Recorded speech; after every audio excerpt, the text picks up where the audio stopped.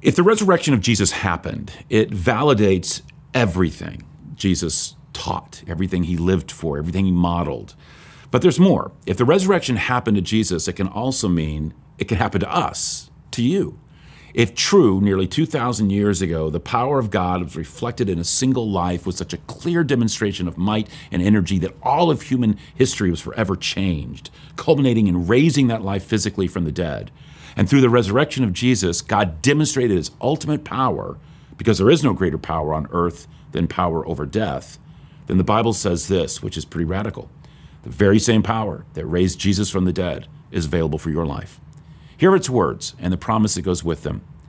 You need to understand the incredible greatness of God's power for us who believe him. This is the same mighty power that raised Christ from the dead. The word for power used in that verse in the original Greek language was the Greek word dunamis, which is where we get our word dynamite. It's the same word used when referring to the power behind Jesus' miracles. And as we just read, the power that raised him from the dead. That's some power. And the Bible says that that power can be there for you. Now, think about that. That means the power that resurrected Jesus can resurrect your life too. Not just after you die physical death, but here, now. God can take your life, and no matter where you are or where you've been, He can bring you to life from any place you feel lifeless. He can give you whatever new beginning you need. Here's how the Bible puts it. And just as Christ was raised from the dead by the glorious power of the Father, now we also may live new lives. Beyond a new life, Christians believe that the resurrection of Jesus can give us the power we need to live the way God wants us to live. You know, we live in a day of self help websites and seminars and apps and tech toys. Those resources, those experiences are good for telling us what we're supposed to do, but they can't give us the power to do it. The Bible promises an external power source, claiming that the power to change our life can come to us from God.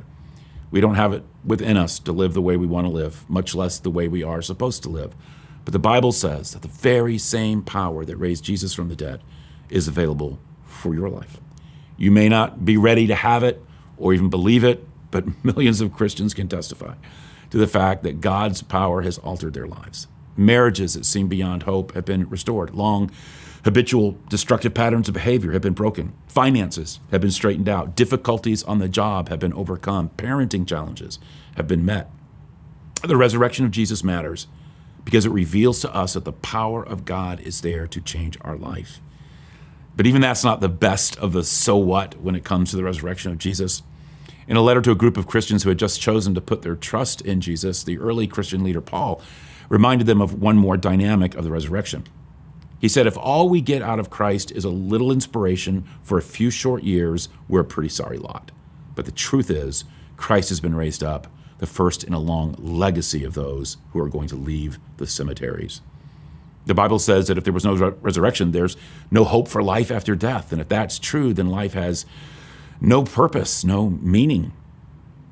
Uh, Soren Kierkegaard once compared such a view to a, a smooth, flat stone that is thrown over the surface of a pond, and the stone dances and skims over the surface of the water until that moment comes when, like life without hope beyond death, it runs out of momentum and sinks into nothingness. In a similar vein, Samuel Beckett once put forth a play called Breath. The curtain opens to a stage littered with nothing but garbage, and the soundtrack begins, starting with a baby's first cry and ending with an old man's last dying gasp. And then the curtain closes. Beckett's point was clear life is absurd, man is meaningless, existence is pointless. But Christianity maintains that the resurrection did happen. And the Bible says that because Jesus was raised from the dead, we've been given a brand new life and have everything to live for, including a future in heaven. And that means hope. But that hope involves embracing a message, a message unlike any ever given.